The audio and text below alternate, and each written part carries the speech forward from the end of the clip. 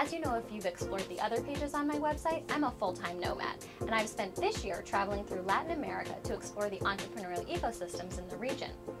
But the fact that I have no real home base hasn't stopped me from running my businesses. So, I was recently asked to write a guest post for Under 30 CEO about how to live life as an entrepreneurial nomad.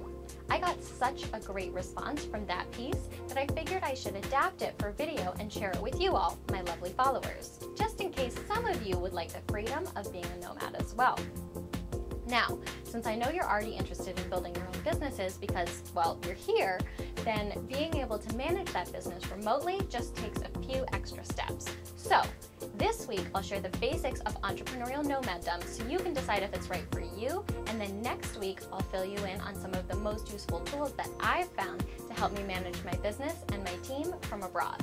So, before subletting your apartment, selling your furniture, and buying a one way ticket to your new nomadic life, there are a few things to consider to make sure that being an entrepreneurial nomad is right for you. Firstly, does this lifestyle even make sense for you?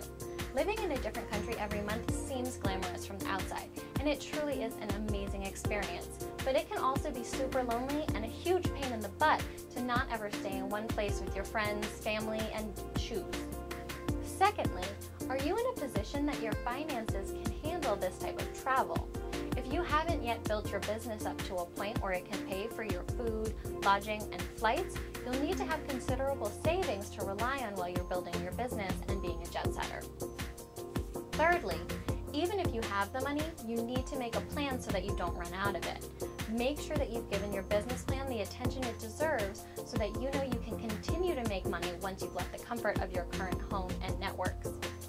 Fourthly, be prepared to really, really, really, really miss stupid stuff that you never noticed was important to you before, like peanut butter and reasonably priced tampons, because you might not be able to find those things in some other countries. Fifthly, learn another language. Trust me, your life will be easier and you will have so much more fun if you can communicate with your new neighbors. And finally, because this post is getting a little bit out of control, remember to work hard and play hard. You can't become a total slacker or you'll never make it long term.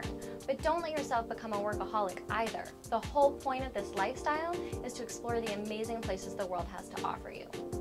If you're interested in learning more about how to build a business to become a nomadic entrepreneur, make sure that you sign up for my newsletter.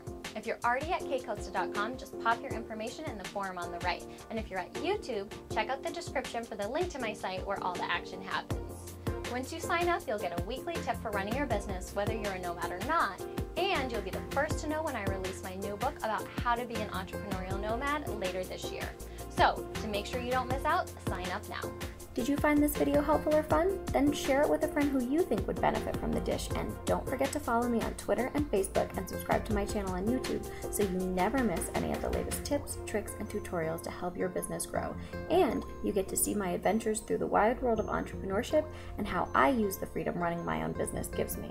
Also, remember to head over to catecosta.com so you can get in on the conversation about how to build your business to success so you can live your life your way.